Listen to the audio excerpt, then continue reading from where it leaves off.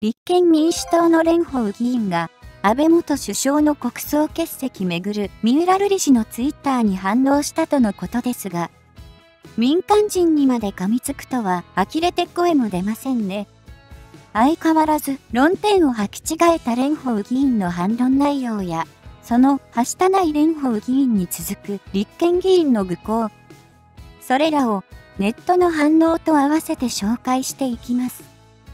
ニュースの詳細。立憲民主党の蓮舫参院議員が13日、自身のツイッターを更新し、父の親友がまたお一人、旅立たれました。小さい時から可愛がってくれた方です。父がお世話になりました。心から哀悼の意と感謝をとし、一人一人の祈り、弔意は尊いですとした上で、すでに欠席を表明している安倍晋三元首相の国葬を念頭に、が、国会審議なき国の意思決定は、通常のご葬儀とは違います。私は、はしたないとは思わない。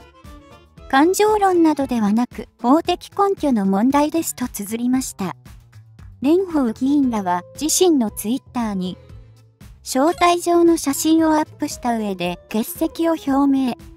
閣議決定だけで時の政権が国葬を決める。国権の最高機関たる国会を無視したこの決め方に反対です。欠席します。とし、辻元議員も、内閣府設置法の国の儀式は、今まで憲法7条による天皇の国事行為のみ。そこに安倍元総理の葬儀を加えるのか。人の死は平等です。コロナで亡くなり、ご葬儀をできない方もいる。また、安倍元総理は、統一教会と深い関係があったのでは？でも、調査もせず全額国費、国葬儀？納得いかない。欠席します。としていました。これを受けて、国際政治学者の三浦瑠麗氏は9日、自身のツイッターで、個々の議員が自分宛ての招待状の写真をアップして、欠席を表明するのは、はしたなく見えるのでやめた方がいいと思いますよ。余計なお世話ですが、本当にそんなことしても票は増えませんよ。と、個人名こそ明記しないながらも、批判していました。また、この蓮舫氏の欠席しますと宣言した投稿には、異例の4000件を超えるコメントが集まっているようで、その多くが、どうぞどうぞ、欠席、ありがとうございます。わざわざ、ここに画像を載せる必要がありますか？公開することが無礼、絶対に来ないでくださいなど、厳しい声や、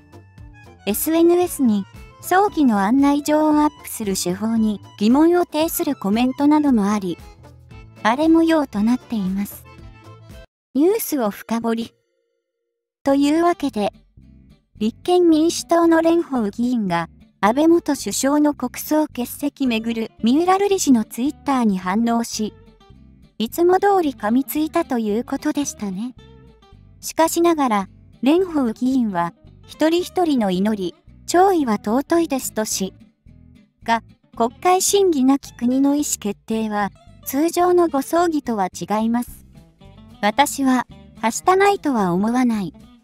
感情論などではなく法的根拠の問題ですと主張していますが、そもそも三浦氏がはしたないと指摘しているのは、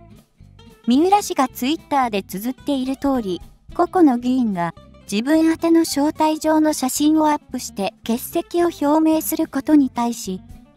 はしたないと言っているのであり、法的根拠などの法律論などではありません。そこも完全に履き違えています。このはしたないですが、上品なけなし言葉のように感じますが、広辞苑を調べますと、もともとの意味は、無作法でぶしつけである、慎みがない、慎みがなく、礼儀に外れたり、品格に欠けたりして見苦しいなど、これまでの蓮舫議員の言動を見ても、まさにぴったりの表現ですね。さらに、このはしたない行為が、どうも、立憲民主党の他の議員にも伝染してしまったようで、招待状の締め切りと前後して、立憲民主党の議員たちが SNS で続々と欠席を表明しています。原口和弘衆院議員は9月14日、自身のツイッターに、私は出席が不可能なものに出欠の返事をよこせという無理に対し、欠席ではなく不可と返信しましたと投稿し、小川淳也衆院議員も自身のツイッターに、本日欠席させていただく旨返信いたしますと投稿していました。また、杉尾秀哉参院議員も自身のツイッターで、ここに改めて安倍元総理のご冥福を心よりお祈り申し上げますとともに、国葬については欠席する考えを明らかにさせていただきますとしています。その他にも、SNS で欠席を表明した議員は多数に上ります。ただ、鳩山幸夫政権時代に内閣官房副長官を務めた元民主党の松井浩二氏は、自身のツイッターで国葬儀への招待状の画像とともに、ご丁寧にもこれには欠席しますという宣言をされるのは、政治運動の自由はあるけれど、私にはあまり品格ある行動とは思えないですね、と苦言を呈しています。この品格のある行動とは思えない、まさに、はしたないですね。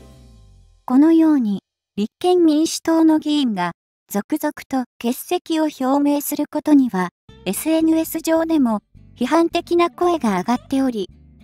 国葬不参加とか欠席とかわざわざ SNS で発信する人って、あいつの葬式呼ばれたけど参加しねえわ。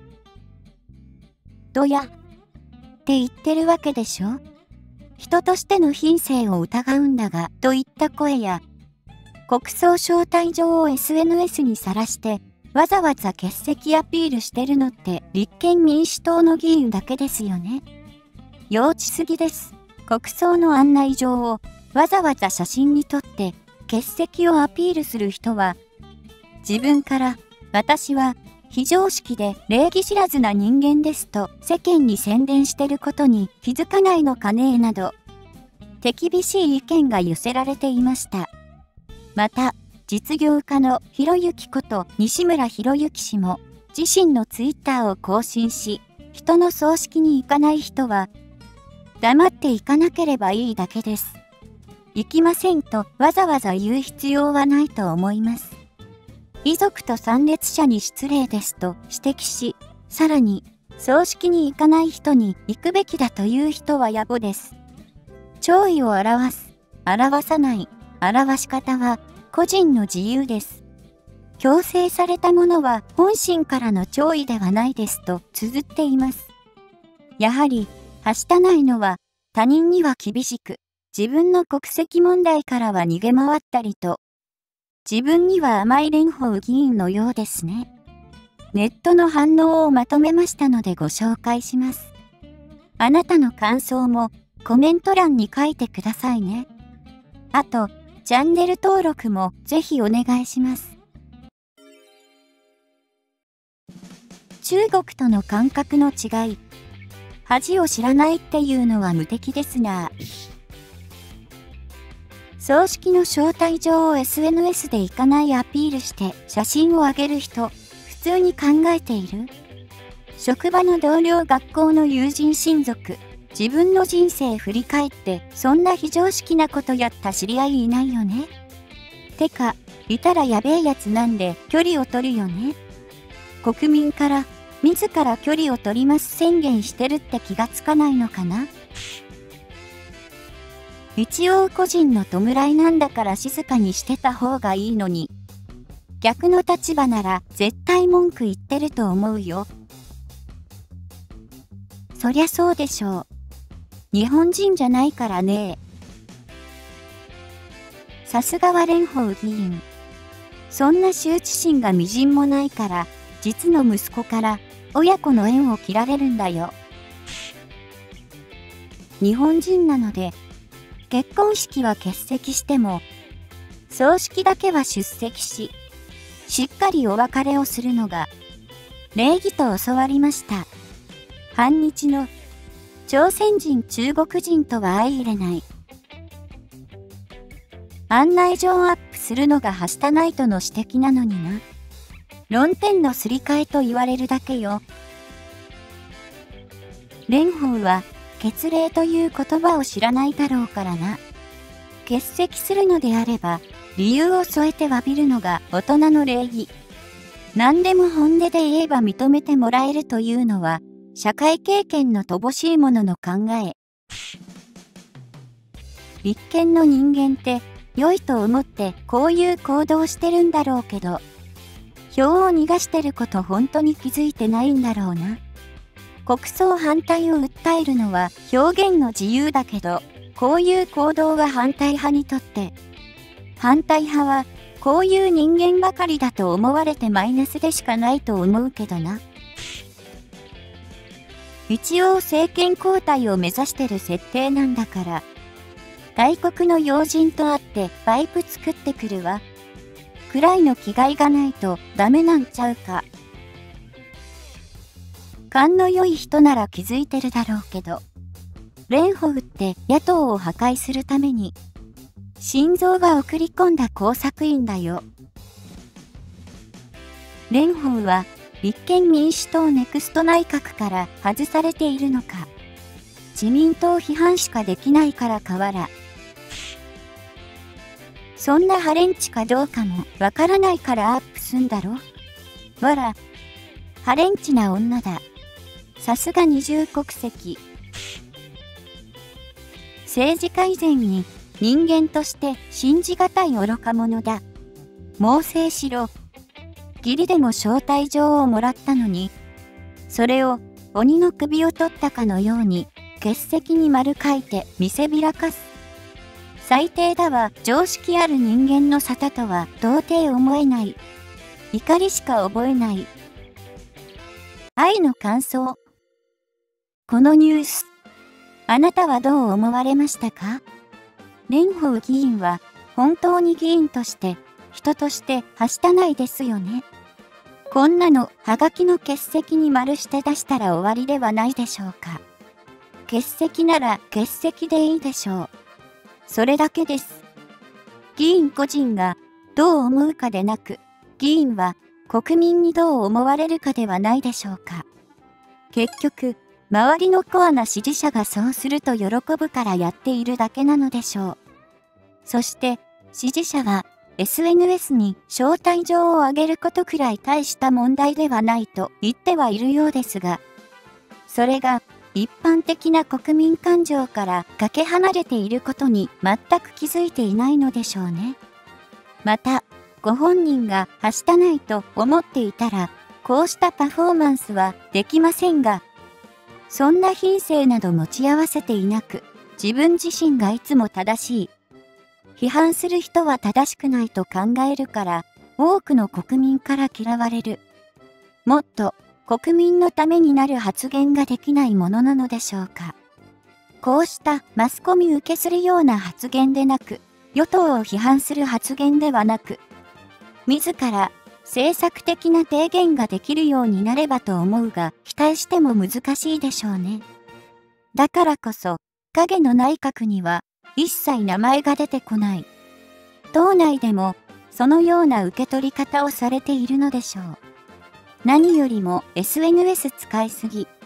SNS は政治を語る場所ではありません。あと4年後、次期選挙では、さらに大幅に票を減らし、落選の浮き目に遭うことはもはや確実。そう思ってしまうのは私だけでしょうか。あなたはどう思われますか？あなたの感想、コメント欄にお待ちしております。政治の味方チャンネル、キャスターの愛です。ご視聴ありがとうございます。これを機に、こちらへの登録、よろしくお願いします。